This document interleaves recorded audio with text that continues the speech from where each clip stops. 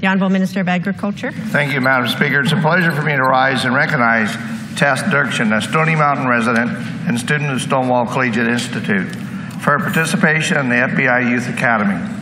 Tess was the lone Canadian selected to travel to Virginia this past July to attend the Academy's Youth and Leadership Program. The application process started with Tess writing her a test about her accomplishments, which included Order. academic excellence volunteer work with the Stony Mountain Community Association, involvement in sports such as soccer, track, cross country, triathlons. From here, she was one of four people chosen for an interview in Winnipeg, where she passed and went for the second interview in Fargo. Finally, the FBI executive made the final decision, and Tess was one of 60 participants, ranging from age 14 to 16, chosen for this sought after opportunity.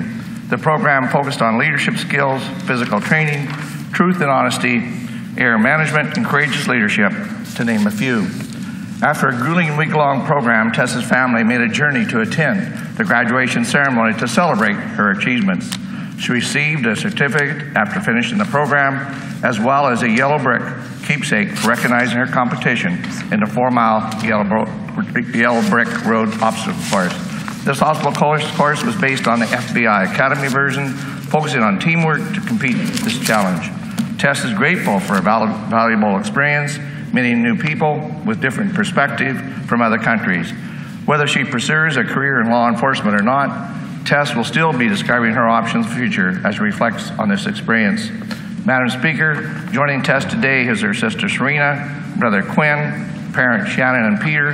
I ask the House to please join me in extending the congratulations to Tess, not only for being selected for this incredible opportunity, but also participation and graduation from this program. Surely has been a lifelong changing experience for her and one she will soon never forget.